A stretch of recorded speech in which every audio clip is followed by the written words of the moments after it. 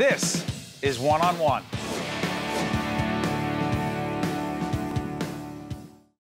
This is uh, Dr. Angela Alistar, Medical Director, GI Medical Oncology, Morristown Medical Center, part of the larger Atlantic Health System. Good to see you. Thank you for having me. Area of expertise is pancreatic cancer. Pancreatic cancer, gastrointestinal cancers, and phase one studies. Can we talk about pancreatic cancer? Absolutely. How prevalent in our country? It's quite prevalent and it's going to uh, become even more prevalent. It's expected to become the second leading cause for cancer mortality in the United States. Because? Uh, because of many, many competing factors. Um, and we can talk about them one by one, but really, since we have limited time, is um, our public national problem with weight, with diet, with uh, the unaddressed uh, big elephant in the room. Um, I think that uh, the big elephant in the room, which is our unhealthy lifestyle in the United That's States. That's the biggest contributor, doctor? Yes, I think it's one wow. of the reasons why the pancreatic cancer is becoming a public um, health problem. So let me ask you, I'm curious about this. There are a lot of people watching who say, wow, pancreatic cancer, as cancers go, that's a really bad one. Anecdotally, they talk. And so I ask, well, how treatable is it? Well, and does first, it depend? Okay, before I move forward, I want you to repeat after me. Pancreatic cancer is not always a terrible illness. Pancreatic cancer is not always a terrible illness. Go ahead. And the reason I'm saying that is because we have to stop being so pessimistic about, about pancreatic cancer. I see pancreatic cancer every day. It's really sort of um, my main tumor type, although I do see all, all, all cancers. And um, I have many success stories that somehow we kind of not talking, uh, we are not talking about them enough. Um, so I think the, the attitude towards pancreatic cancer has to change, and we need some cheerleaders to emphasize the need for research, the importance of clinical trial involvement. Um, I am kind of I'm kind of tired of this whole pessimistic attitude um, about pancreatic cancer. Why is it more treatable than 10, 15 years ago? We do have more. Um, we, we currently have three standard of care combination um, regimens that do change lives. They're not curative, however, and this is why most patients with, with pancreatic cancer should be in a clinical trial, in my opinion. Because? Because clinical trials will give them better options.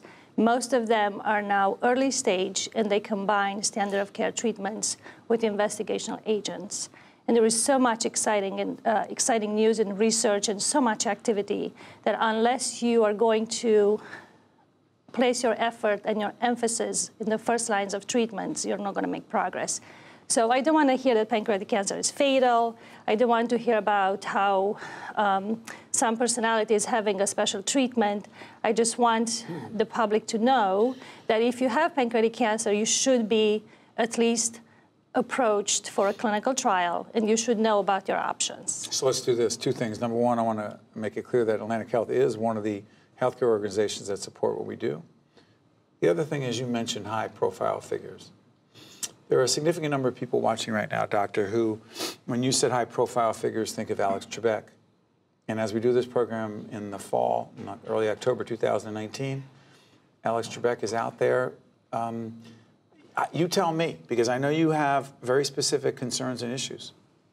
So I think, so every time I hear about another personality um, that has to battle pancreatic cancer, I have mixed feelings because I do know that they, I, I I obviously feel very bad for them. Of course. But I also um, know that they could do so much to help because the more visible you are, the more you can help. The public discussion around pancreatic cancers and other serious cancers really does affect the way patients come and speak to physicians. Yes, yes. Fair? That's fair. So, I, so what I would love to see when somebody who does have um, such visibility would focus on, or at least bring into the fold or bring awareness to, is how are we going to beat this cancer? How are we going to change this? As opposed to, this is me, this is what's happening, I'm in, I'm out of shows.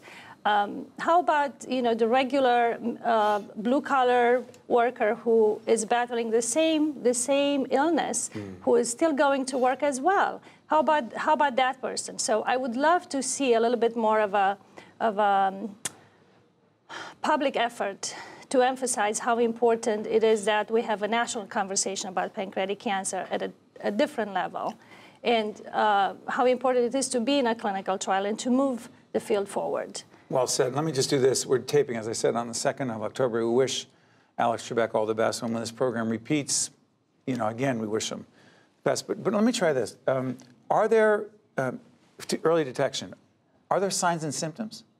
So the clinical signs and, sy- and, symptoms are so elusive that we really can't go by that anymore. Um, and we, um, uh, even the most attentive physician is most likely going to use vague symptoms that come and go, and then, uh, and and then six months later end up, you know, being a, a real diagnosis. I would um, the way I talk with my patients about pancreatic cancer is that, and their family, because if a patient has pancreatic cancer, the family has pancreatic cancer. That's really the conversation. How do I prevent this from happening to me? Uh, is that anytime you have something that's, that's lasting more than two weeks and is not getting better with supportive care, with your over the counter medicines, please go and insist on being further evaluated. Uh, you know, don't wait. Don't don't yeah, exactly. Don't wait. Don't make it six months later that you're going to have additional um, e- evaluations. On top of that, a few seconds left. Go ahead. On on top of that, now the new standard of care is that every patient with pancreatic cancer has. Um, uh, is, is, um, has the right to, to be tested for genetic mutations that would translate into risk for the family.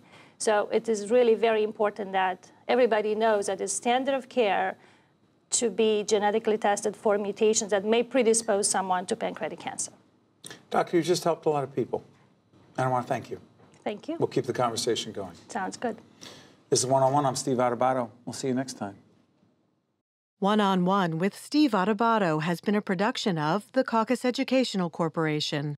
Funding has been provided by PSE&G. United Airlines, the Northward Center, Fedway Associates, the Russell Berrie Foundation, the New Jersey Education Association, PNC, Grow Up Great, Adler Aphasia Center, and by Community Food Bank of New Jersey. Promotional support provided by New Jersey Family Magazine and NJFamily.com. And by Tap Into TV. Transportation provided by Airbrook Limousine, serving the metropolitan New York, New Jersey area.